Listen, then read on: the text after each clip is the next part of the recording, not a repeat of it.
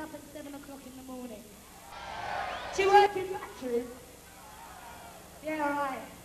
Are you, uh, are you ever three minutes late? Right, you're like this one then. Three minutes here!